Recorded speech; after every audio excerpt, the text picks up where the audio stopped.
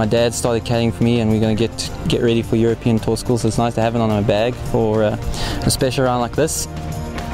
I had four iron off the tee, and obviously being downwind, I didn't need more than that. And just put it in the fairway, and it had left me with 165 to the flag, and I just hit a little soft nine iron, and it just sets up right for my cut with the back right flag. And my dad said, well, we might as well go for the grandstand finish, and manage to pull it off.